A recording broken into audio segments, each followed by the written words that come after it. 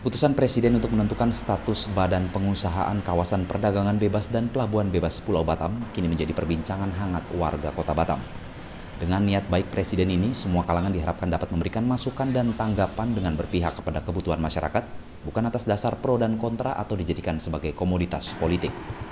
Arahan Presiden Joko Widodo ini muncul akibat lambannya pengembangan kawasan Kota Batam, meskipun berbagai upaya sudah dilakukan sejak tiga tahun terakhir. Permasalahan utama yang disimpulkan adalah adanya dualisme kepemimpinan di Batam yang juga membuat investor merasa tidak mendapatkan kepastian hukum. Untuk itu, kewenangan pemerintah pusat selama ini melalui BP Batam akan dirangkap secara ex officio oleh Wali Kota Batam. Salah satu tokoh masyarakat Batam yang juga menjadi penggagas terbentuknya Provinsi Batam, Hamzah Idris mengatakan, langkah yang dilakukan Presiden saat ini merupakan niat baik untuk percepatan pembangunan di Kota Batam.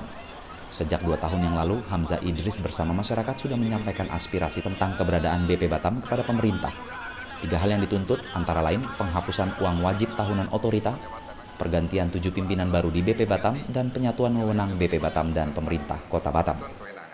Saya sangat menghargai dan mengapresiasi demi untuk kemajuan masyarakat Batam. Soal teknis nanti saya kira pemerintah pusat tahu akan hal itu. Jadi di sini intinya adalah tidak ada yang dibubarkan adalah peluburan dua institusi dalam satu bentuk kewenangan gitu, ya kan? Nah, yang ter yang beredar adalah ex officio Pemko Batam.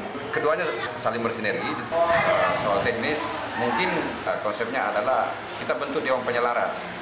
Dewan penyelaras ini dalam koridor untuk tidak ada kesaling tersinggungan antara dua institusi.